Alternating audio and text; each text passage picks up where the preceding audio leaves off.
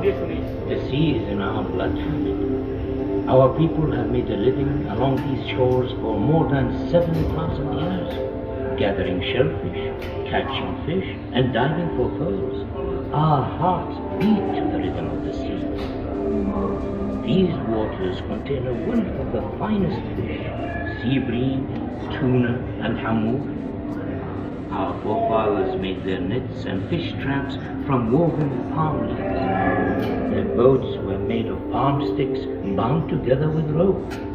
Sudden storms and high winds meant that fishing was dangerous but rewarding work. Fish that wasn't eaten immediately was hung up to dry or preserved and sold.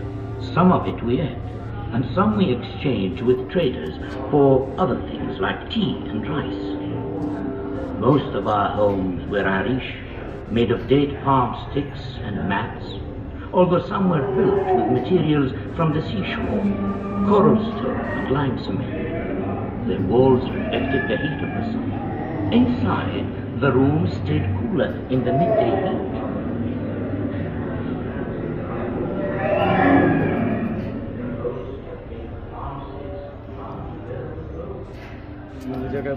আছে কিন্তু তোমার যেটা চাই ভালো লোক আছে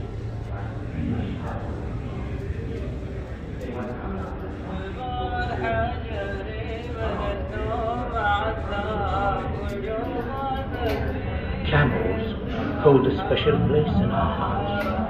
We honor these loyal and noble creatures which can endure the blazing desert heat for days without food or water. They are vital, each their donkey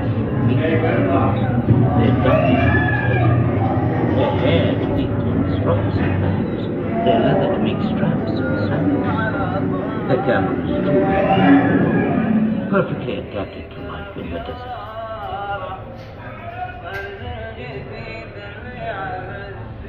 These camels have been loaded with dates, dried fish, household goods, and food. They used to cover huge distances to reach the oases inland at Liwa and Al Ain, along routes that camels have traveled for generations. Camel trains carried wood, charcoal, food, and fodder back and forth between the coast and the inland oases, bringing much needed supplies. They also transported families every year from the coast to the oases to escape the worst of the summer humidity.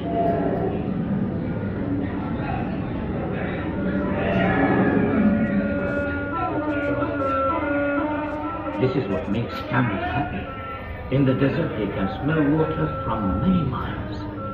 This oasis is fed by cool underground springs and a network of barrages, man-made channels which bring water from the mountains. Here we produce dates, cereals, vegetables, fruit and fruit. It's a kind of paradise, cool and tranquil.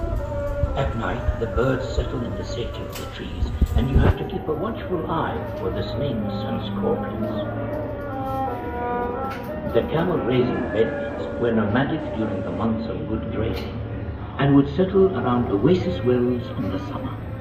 Many would live in traditional desert tents made of woven cloth.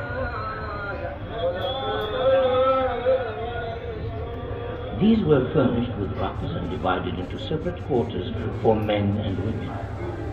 Here, in the food preparation area, women used cauldrons and bread-making pans to make the family meal. Next door, in the majlis, the men's quarters, the men would meet in the evening to talk and drink coffee.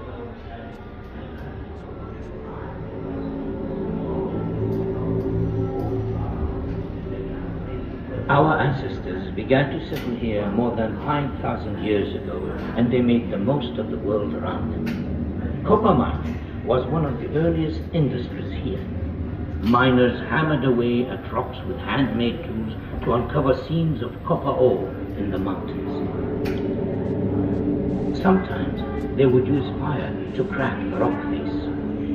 It was a dark, dangerous place to work.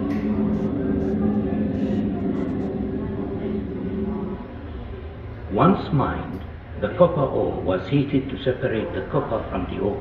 A fully trained men operated drills, pumps, and other shopping malls, markets, hotels, a fantastic waterfront, beautiful mosques, magnificent architecture.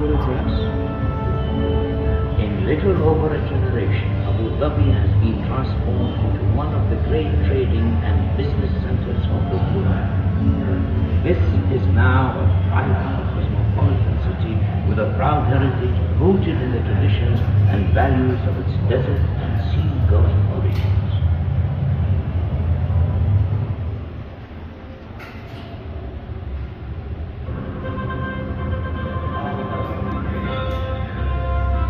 Isn't it amazing how much everything has changed in less than a single lifetime?